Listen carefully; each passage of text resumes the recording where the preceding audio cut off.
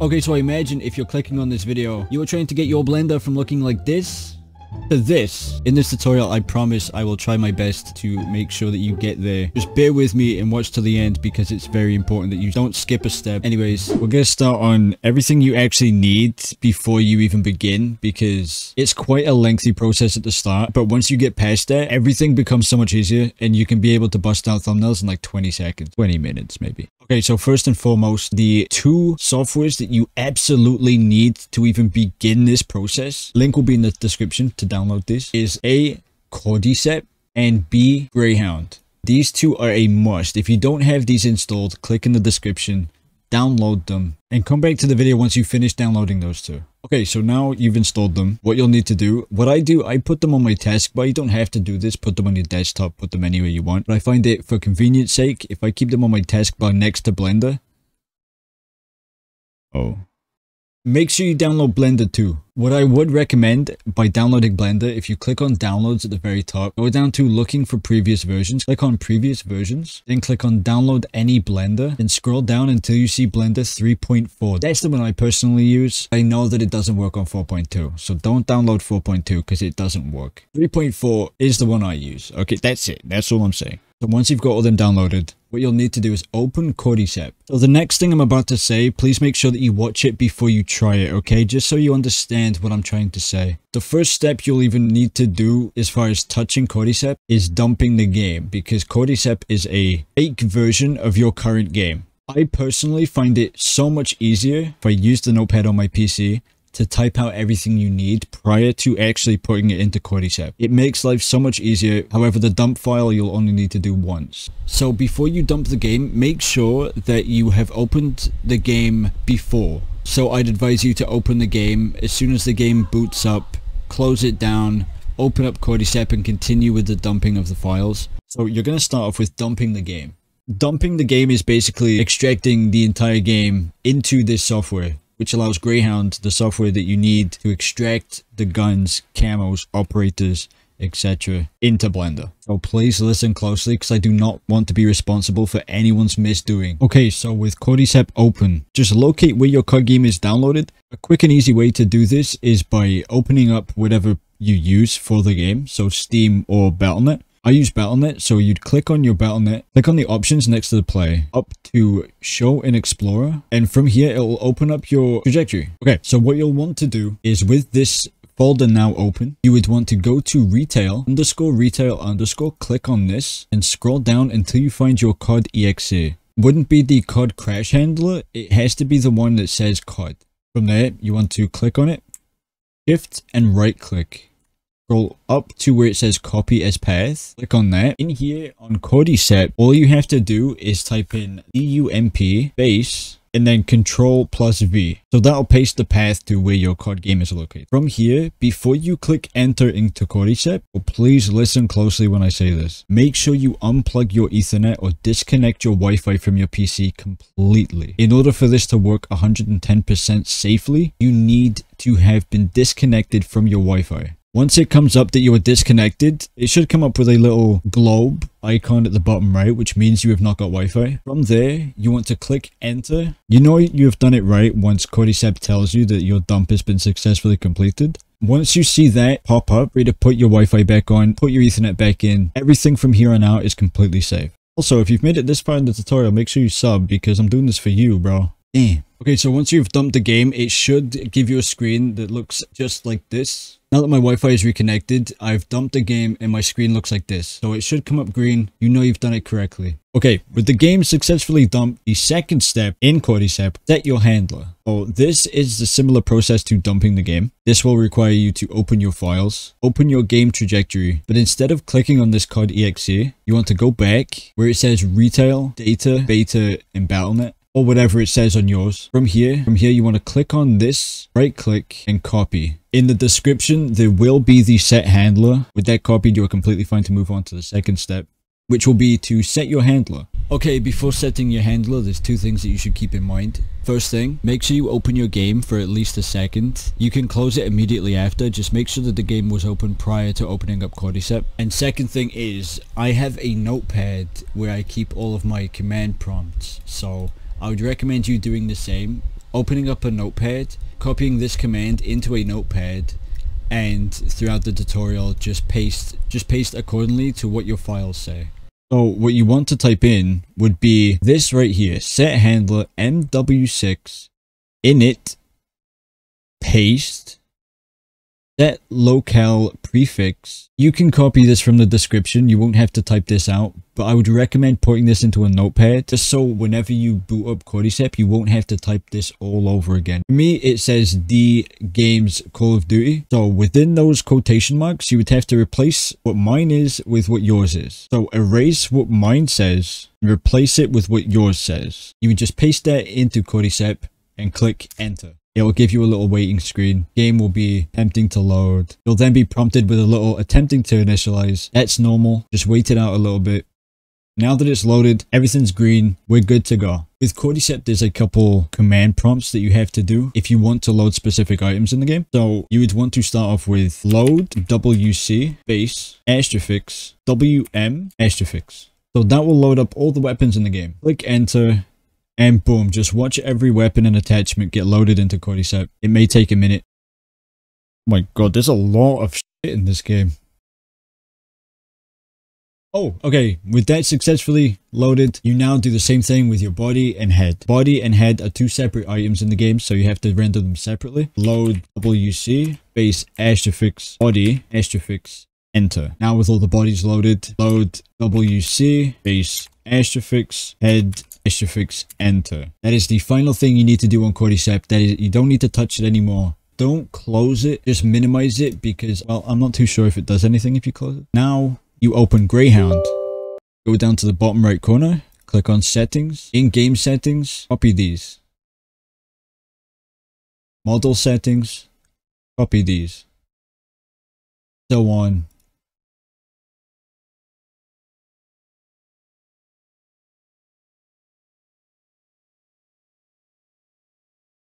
Assuming you have copied every setting correctly, we can move on to the fun stuff. Bottom left corner, load game. Every single thing that you just loaded into Cordyceps now be in Greyhound. So in the description again, there will be a website. I don't own this website. However, the Discord link for the guy who made the website will also be in the description. See, you're getting it. Okay. Okay, so with the website now open, we can click on whatever we want to export into the game. So these are, so this is going to tell you the names of every weapon and every operator in the game. From there, you copy and paste the names from the website into Greyhound. This makes it significantly easier to find what exactly you're looking for, whether it be a gun, attachment, operator, camo, etc. It's a lot easier, trust me. Okay, for this example, I'm going to grab Nicki Minaj as my operator for the thumbnail. If you click on the character, it should come up with a skin name, the image hash, blah, blah, blah. But these are the things you need to look at. The model, high res. So what we do, we copy body, open Greyhound, put it into the search bar, control V. See how it says model by here, which means it's successfully exported. So you double click there, wait for it to load, and boom, click on this little box down here, MW6, X models, and whatever her name was, it was Nima, and boom, the body is right by there. Same thing with the head, you'd copy, paste, it comes up with two models. So what you want to do is check that this is the right one. So the longer name is the low res, the high res is the shorter name. So you double click. As you can see, it came up with two. Which one we copied is the one we export. We don't export the long name because clearly that's the low resolution image, whereas the high resolution would be the one with the short. You get the point. So now that both of them have successfully exported, you move over to Blender. What you want to do is you want to open Blender and create a brand new workspace.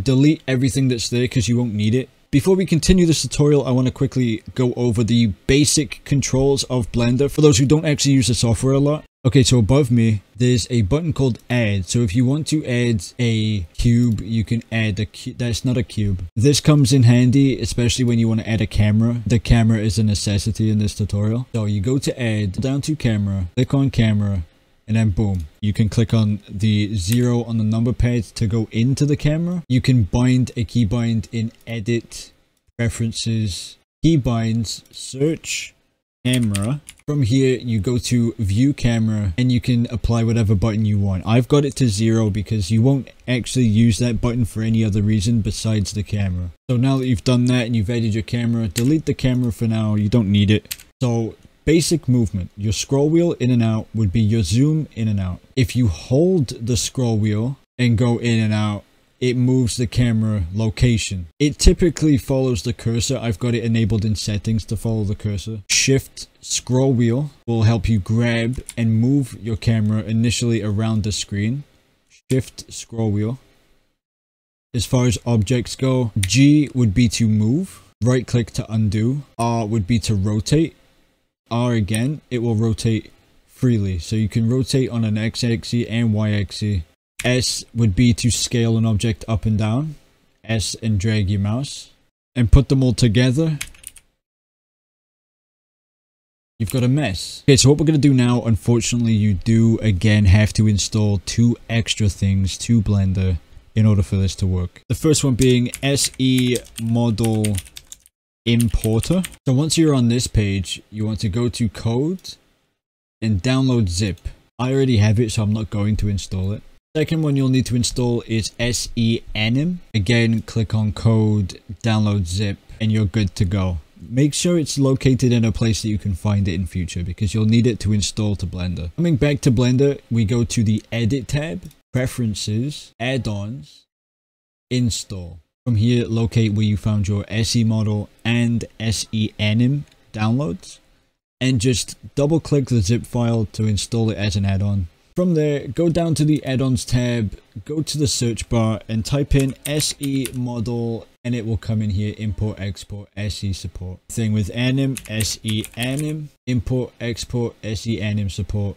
Just make sure these both checked. Bottom left corner, save preferences. So with those two now downloaded, what you'd have to do is go to file, import, scroll down until you see SE model, locate the folder in which your Greyhound has exported, Greyhound exported files, Modern Warfare 6 down to X models and type in whatever operator you just downloaded. In my case, it would be Nima for Nicki Minaj. I have both head and body, so I'm going to do the body to begin with. Using what we learned earlier, we'll zoom out a little bit, hold scroll wheel to move around. Click on any random bone for the character, that'll help you scale the entire thing, opposed to just one body part.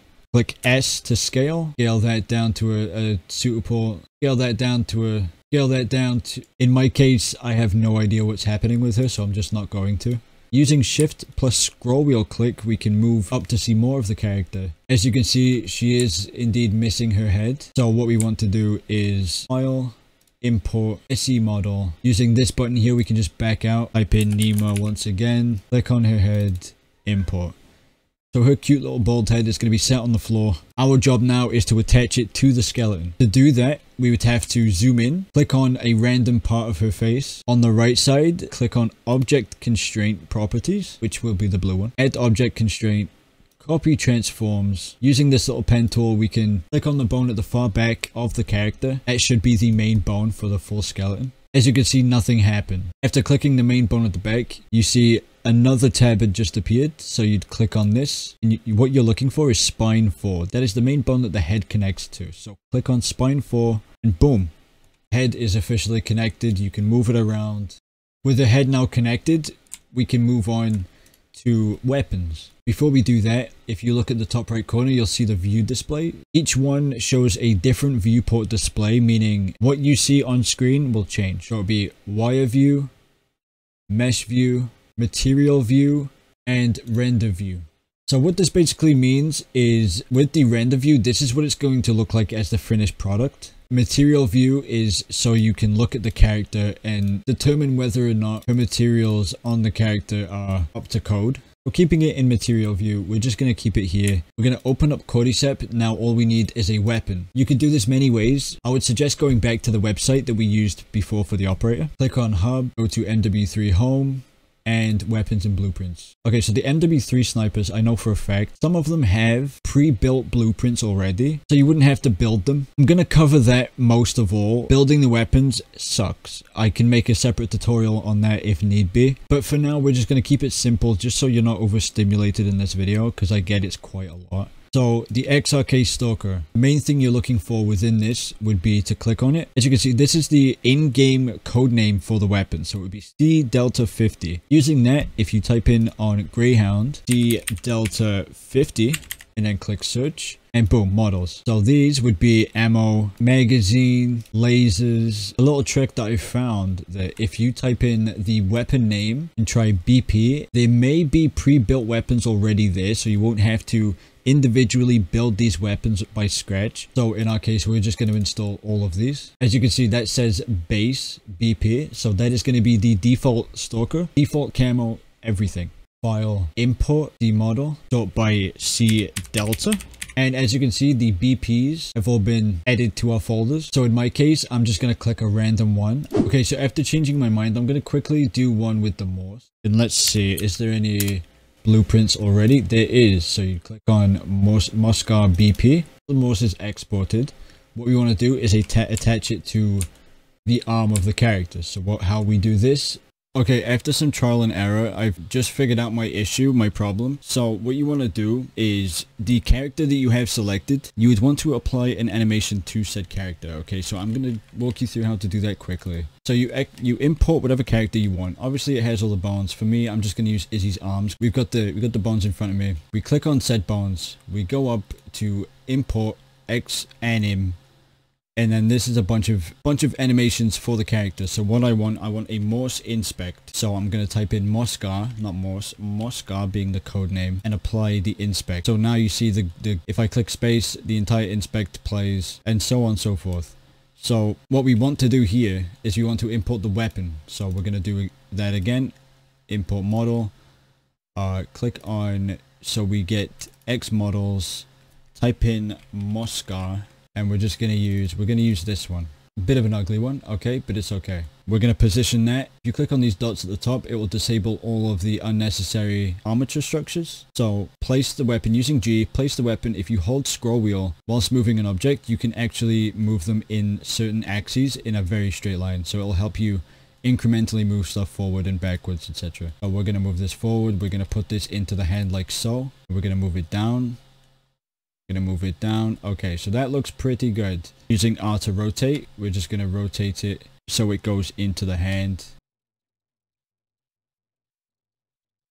From there, what we want to do is tick this box again so you can see all the bones. As you can see, this is the main bone selected. So we're going to go to pose mode. Click some guns you may have to hunt for, but this is quite evidently the main bone for the weapon. If you click G, you'll see it moves the entire gun. So it's, so it's the main bone. You go to your constraint tab again, add object constraint, child of. You click on this eye tool by here. You click on the body at the top right. Type in wrist. Make sure it's the right wrist, otherwise it won't work.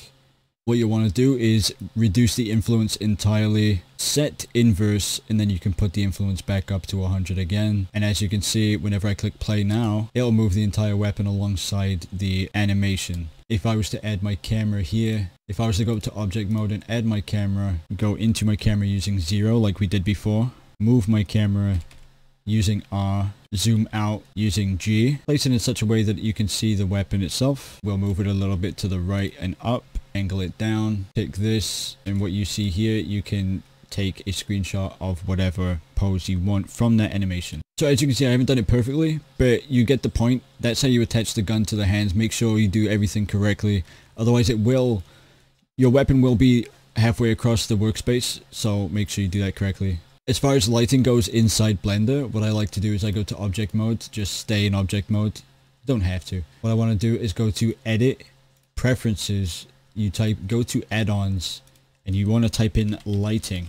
And in here, there is lighting sun position, Tri-Lighting, and dynamic sky. You want dynamic sky to be ticked. On the right side of the screen, there will be a little arrow. You click that arrow, down to create, click on create like so on world settings which is this little red box by here this little red circle by here click instead of world click on dynamic and boom the entire thing is completely lighter from here go to your scene view scroll down to film and transparent and that will get rid of everything. So you can change the sun position according to wherever you want it. I would always recommend on the top tab by here and keep it on cycles. Never do it on eevee eevee is just worse quality overall and it's not worth it. Cycles gpu not your cpu because your gpu will act a lot stronger than your cpu will.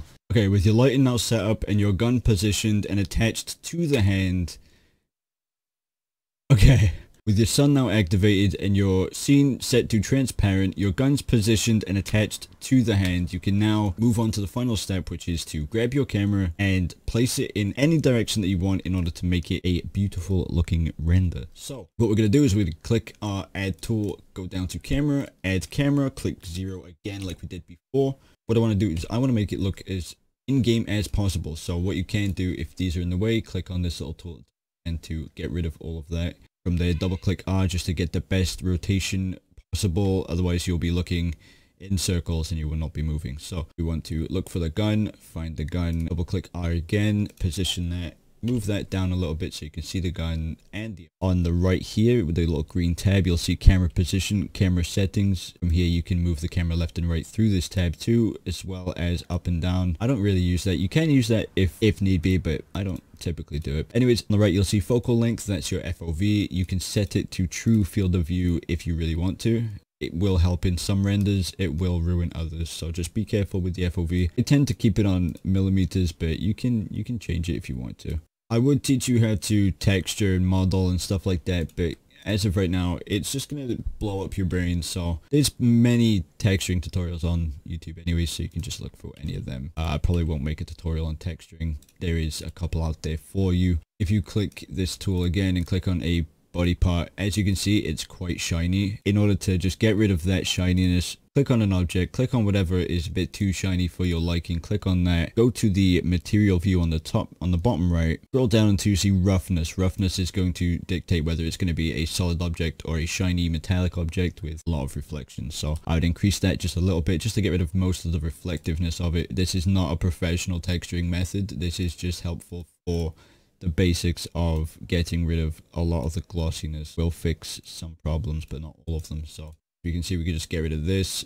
The hands typically will be quite shiny and it'll look very fake and plastic. So I would recommend for now just maximize the roughness on the base skin hands because you haven't learned texturing. If you do know how to texture then you know good on you. Try and stay away from the whole plastic looking renders. They are very hard to edit in Photoshop. Once you are happy with how your gun looks in your camera position, just use the scroll wheel to zoom out just to see what your camera will show. Make sure your file format on the right side is set to PNG. It should be the second tab down. Place wherever you want your files to be located and go to, for me, I'll put it to my me, I'll put it to my downloads. It's where I keep all my renders at anyways. Make sure you are set to PNG, RGB, RGBA. Resolution, you can set that to whatever you want and boom. Whilst this is ranging, you'll see that your blender will be turning green. This is a loading bar. Wait for that to finish. As you can, it's quite fast. If you run it by GPU, it is very fast. If you run it by CPU, it will be significantly slower. Image, save as on whatever folder that you want. I'm gonna do 3D render and name it.